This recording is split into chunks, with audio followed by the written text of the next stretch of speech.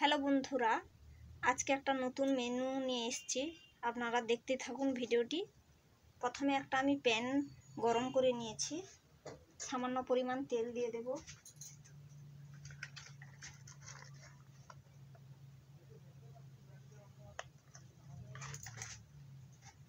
তেলটি গরম হয়ে গেলে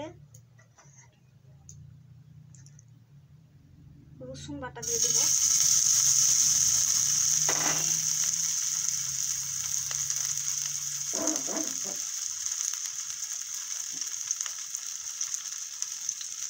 রসুন ও আদা বাটা দিয়ে দিয়েছি।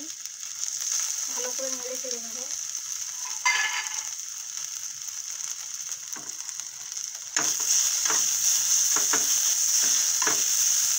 পেঁয়াজ কুচি দিয়ে দেবো।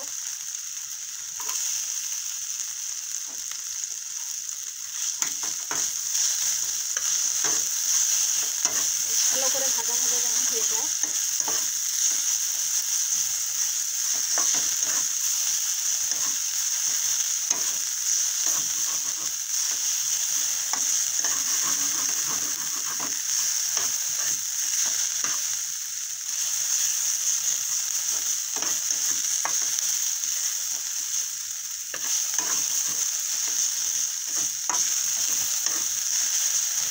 এর সঙ্গে আমি হলুদ লঙ্কা গুঁড়ো মিশিয়ে নেব।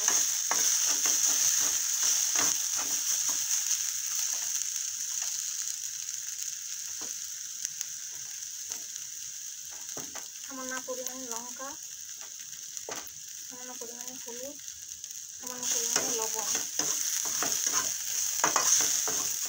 দিয়ে আমি একটি আলুর পেস্ট বানিয়ে নেব।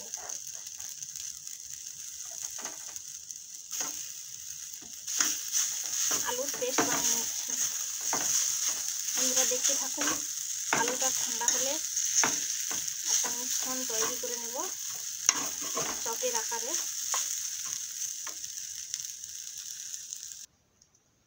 বন্ধুরা, এবারে আলুটা ঠান্ডা হয়ে গেছে। এর সঙ্গে আমি একটা ডিম ফাটিয়ে মিশিয়ে নেব।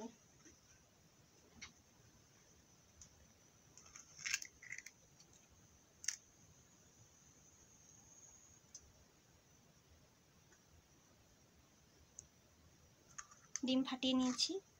ডিমের মিশ্রণটি মাখিয়ে নেব। ভালো করে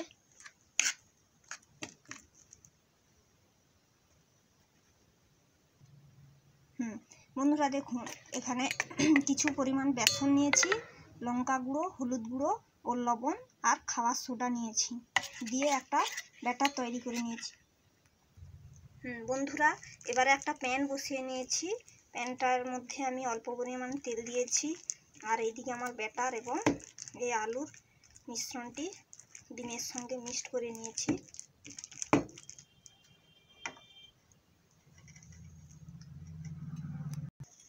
বন্ধুরা দেখুন, এই আলু ও ডিমের মিশ্রণটি আমি পেস্ট একটা বাটারের মতো করে শক্ত শক্ত করে মিক্সড করে নিয়েছি। এবারে অল্প করে ছোট্ট ছোট্ট করে আমি লেচি টাইপের কেটে নেব।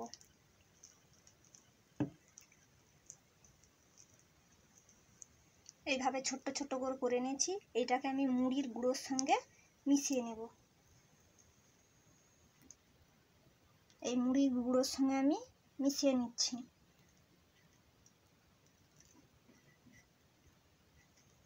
দিয়ে আমি ওই ব্যাটারের যে বেসনের ব্যাটারটা বানিয়েছিলাম, ওইটার মধ্যে ছেড়ে দেব। দিয়ে আমি কড়াইয়ের মধ্যে এটাকে ভালো করে ভেজে নেব।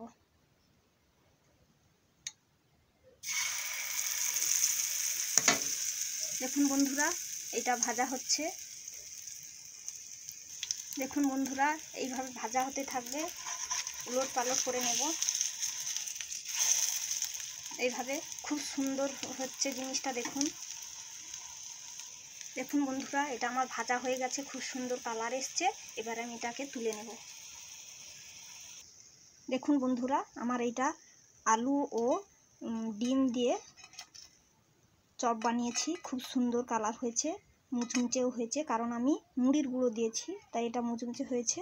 যদি আপনাদের এই ভিডিওটি ভালো লাগে লাইক শেয়ার কমেন্ট ও সাবস্ক্রাইব করবেন।